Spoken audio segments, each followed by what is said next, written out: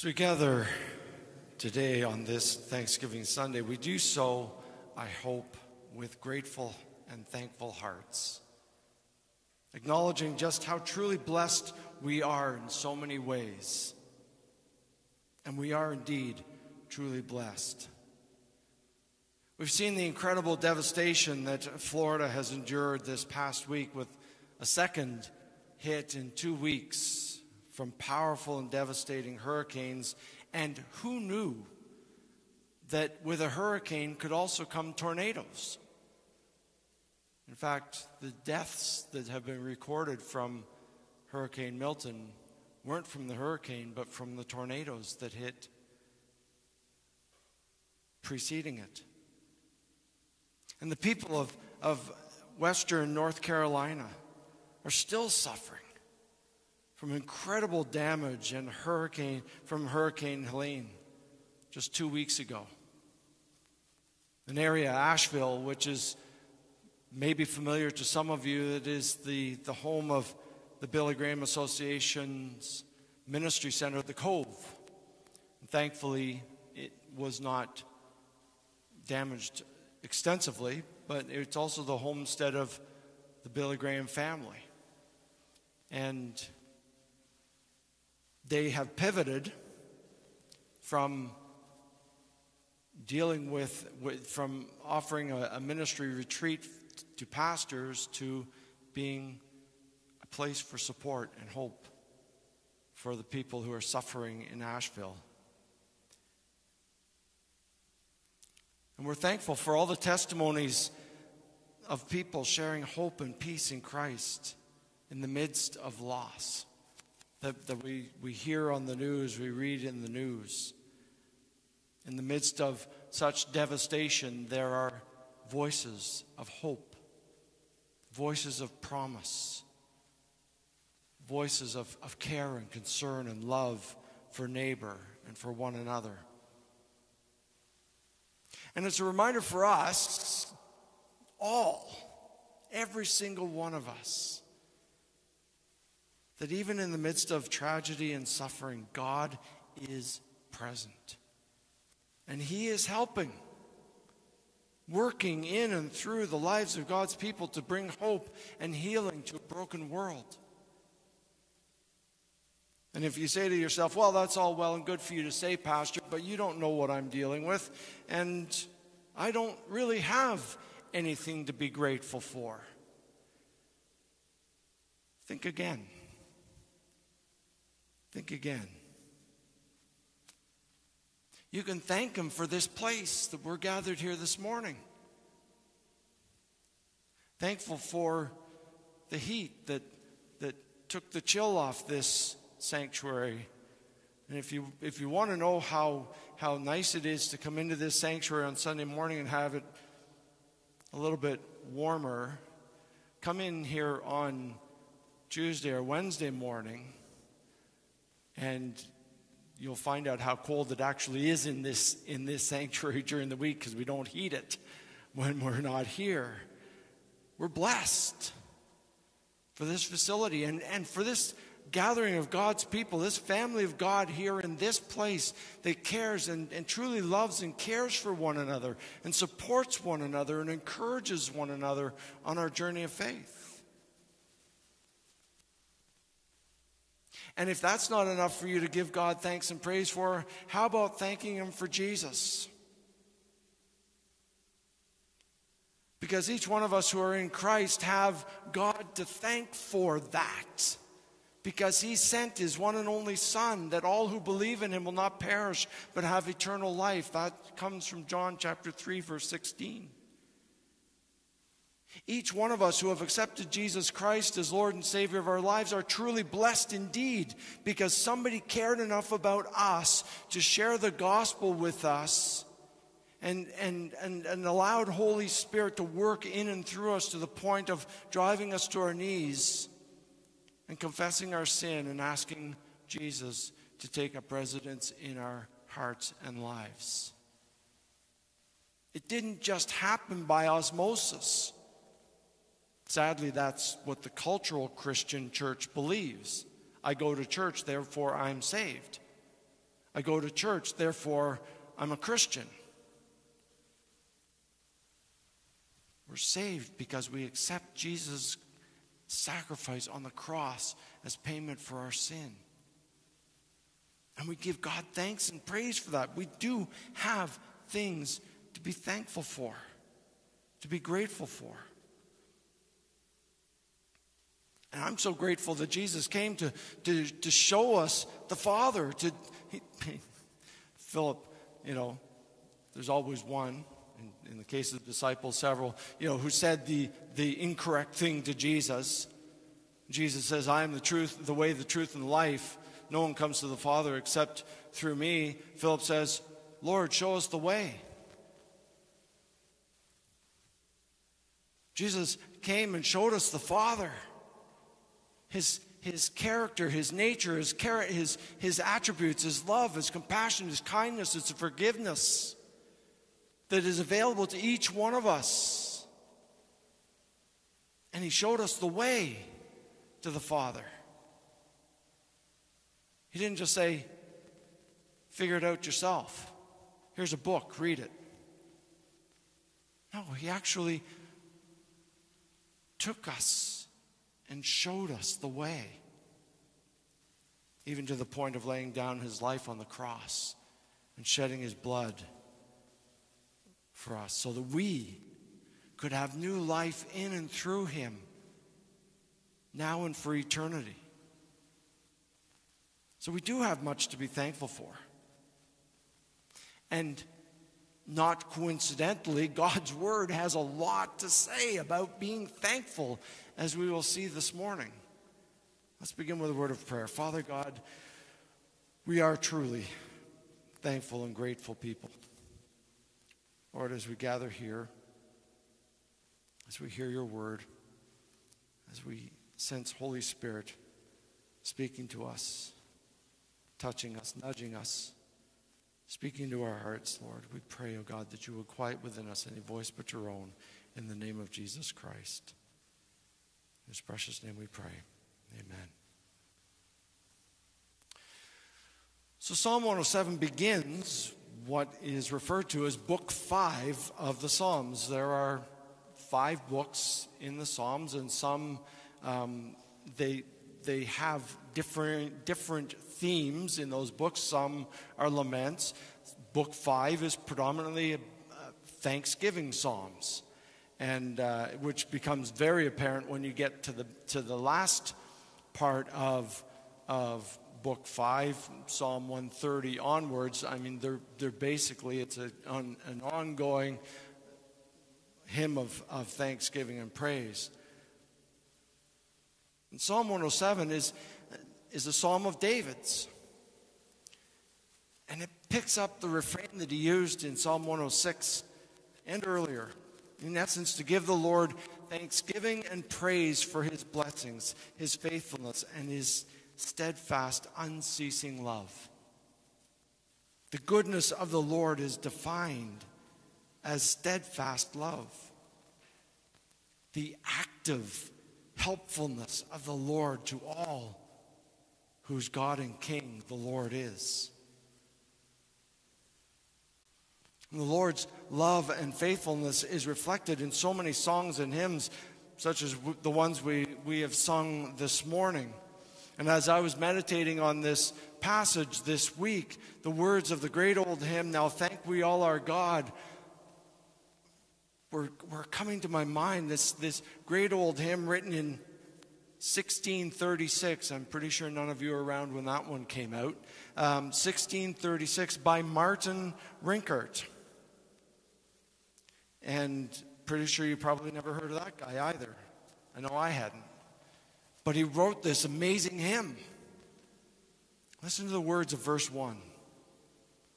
Now thank we all our God with heart and hands and voices, whose wondrous things has done, in whom his, his world rejoices, from, who from our mother's arms has blessed us on our way with countless gifts of love and still is ours today.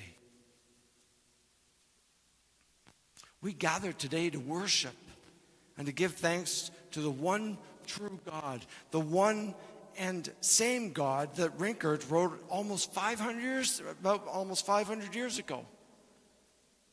And indeed, people have been writing about even back to David's time and before. When we read in Hebrews chapter 13, verse 8, verse 8, that Jesus Christ is the same yesterday, today, and forever, it's true. The same God that, that, that Rinkart was writing about in 1636 is the same God that we worship today. The attributes that Rinkart mentioned in that opening verse of that great old hymn are the same attributes that we worship today, that we recognize in God, because He is unchanging in character. His attributes from beginning to end, indeed, His faithfulness and steadfast love endures forever. Paul concludes chapter 13 of 1 Corinthians a chapter speaking about the love of Christ abiding in us, that, that agape love, sacrificial love. And he says, and now three things remain faith, hope, and love. But the greatest of these is love. The greatest of these is love. The love of God revealed to us in Christ Jesus our Lord.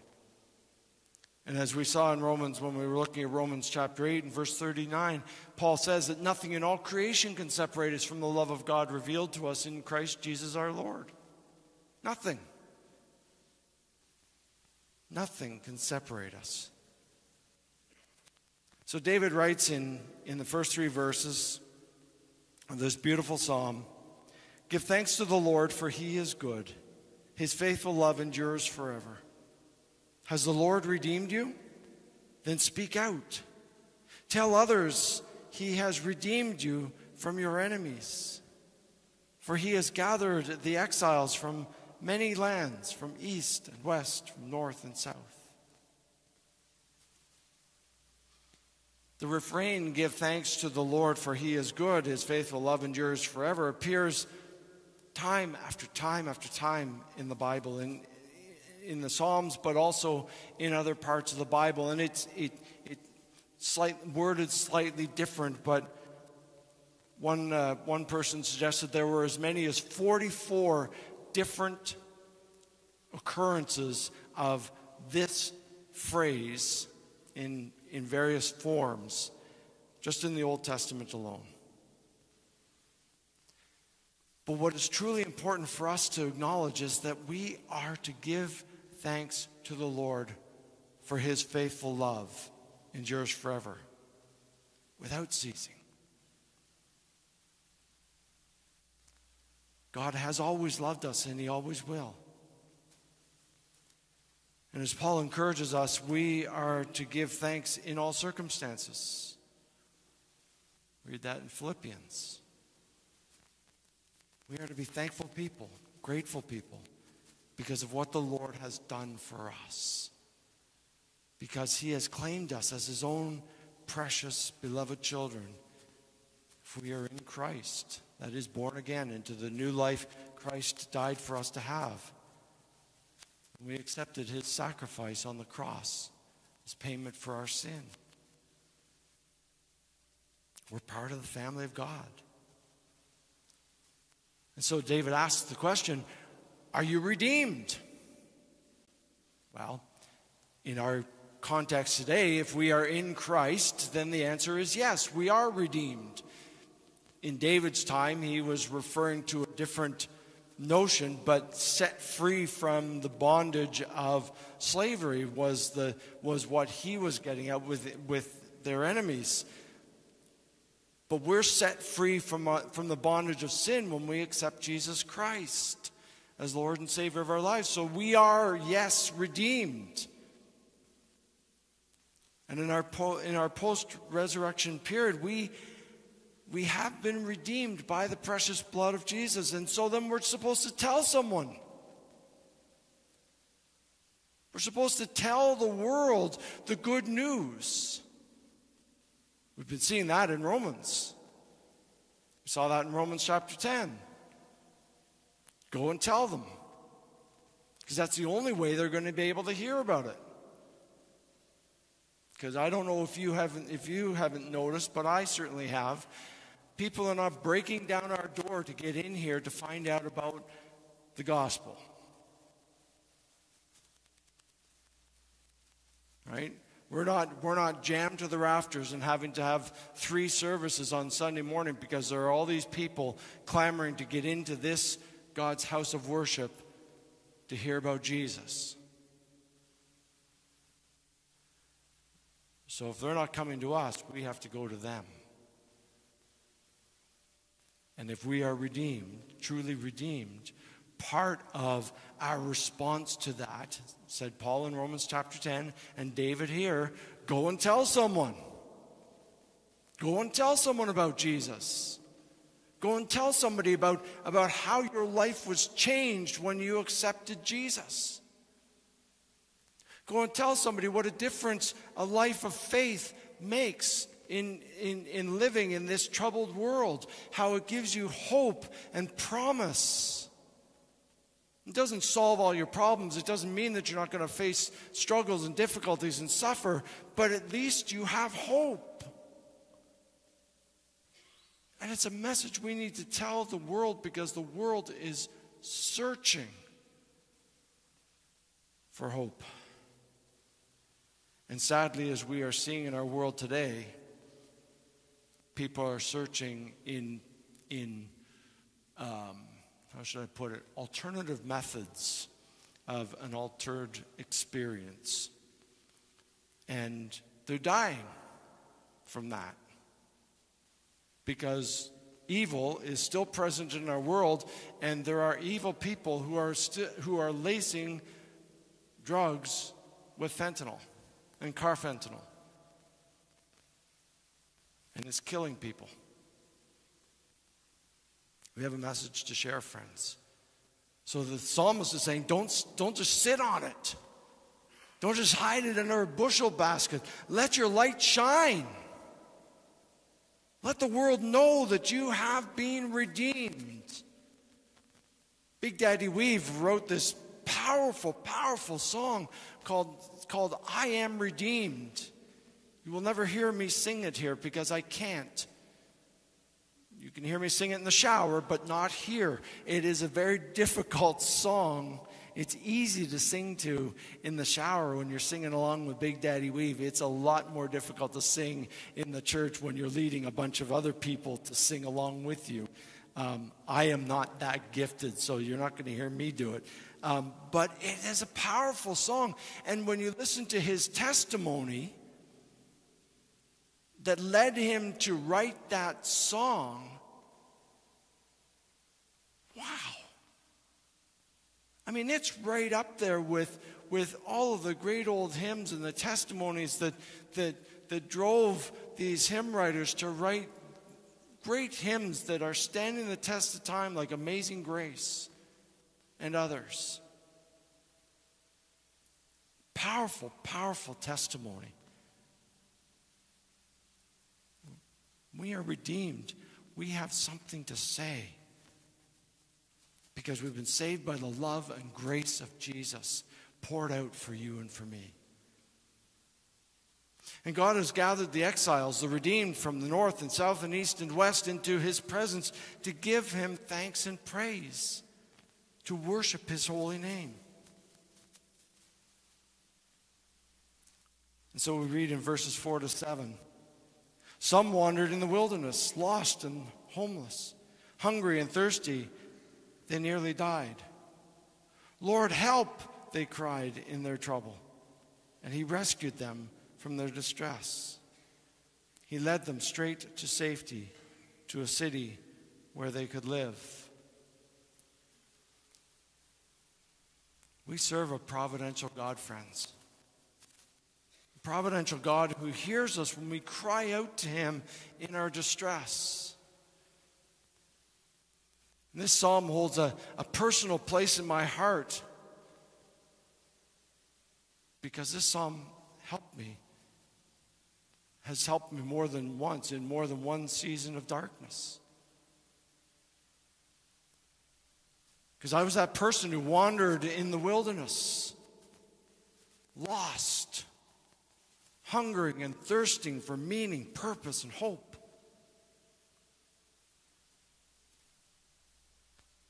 And I can tell you, it's not a good place to be. At the point of death,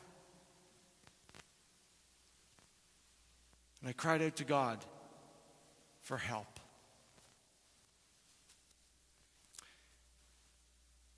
And he heard my cries and he rescued me. Maybe someone here this morning can relate to that same thing. So when I say we have much to be thankful for, I don't just say these words flippantly. I don't say it casually. I say that from the depths of my heart and my soul. Because God truly does not want to see us suffer. And He will help us if we will seek Him with our whole heart.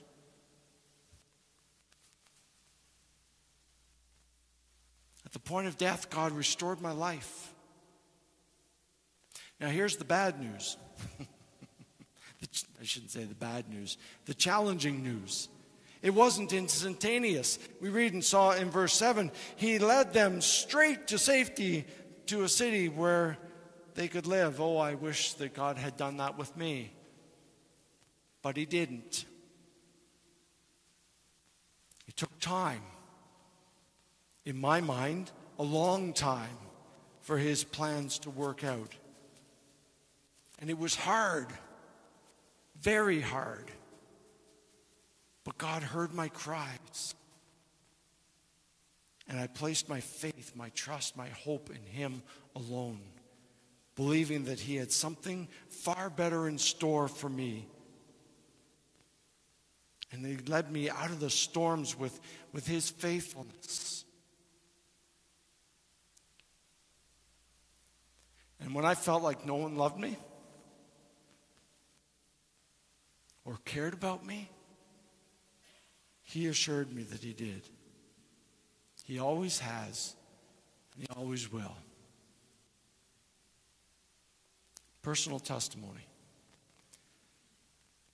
I'm pastoring a church in Halifax. Hadn't met Susan yet. And I was in a dark place. And I, at that point, had not heard of David Jeremiah.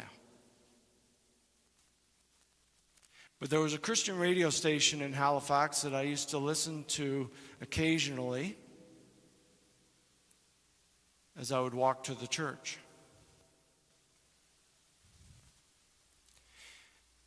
And one morning I was walking to the church and I man they had his program playing on the radio and he was doing a series called God Loves You. He always has, He always will.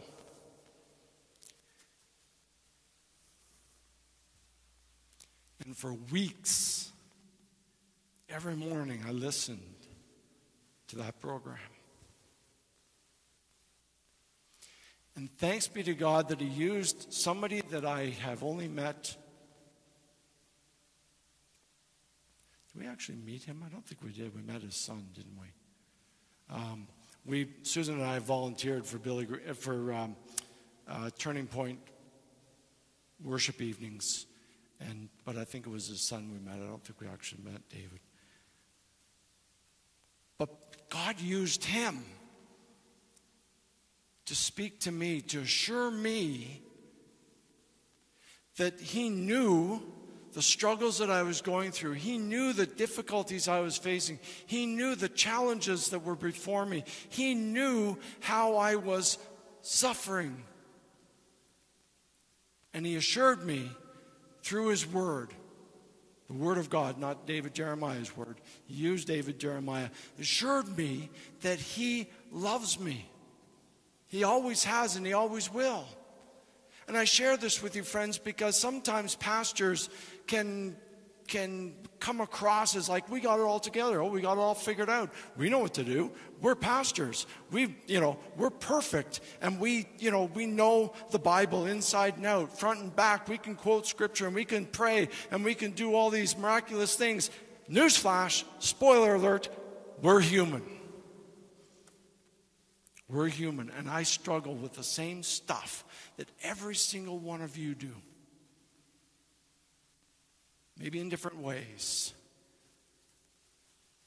And thanks be to God that He used somebody, somebody that I didn't even know. I'd never even heard of David Jeremiah at that point. But somebody that I knew that spoke this word of hope into my heart and reminded me that even if nobody else in the world loved me or cared about me, God did. And that carried me. For months, that carried me. And we need to be reminded that we are God's precious and beloved children.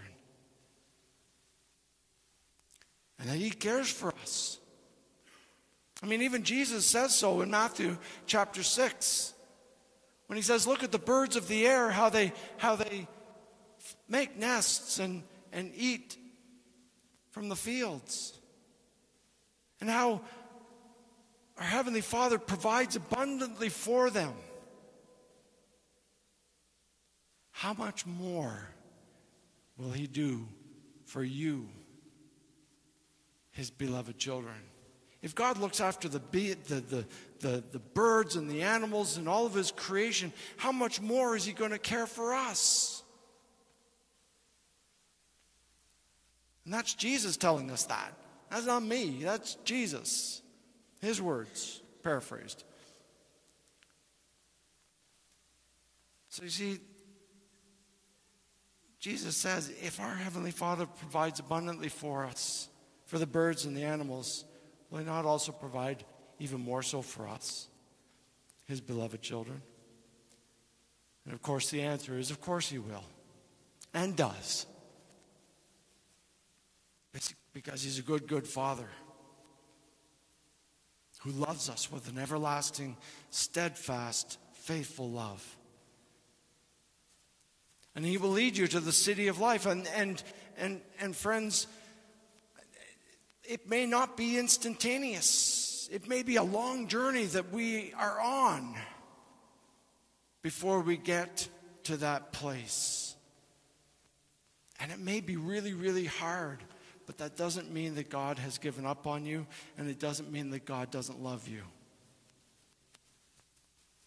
And He will lead, lead each one of us to the city of salvation and ultimately to the eternal city where we will spend eternity in His glorious presence, reunited with, with all who have gone before us.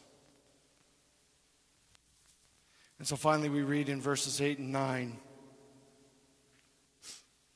Let them praise the, the Lord for his great love and for the wonderful things he has done for them.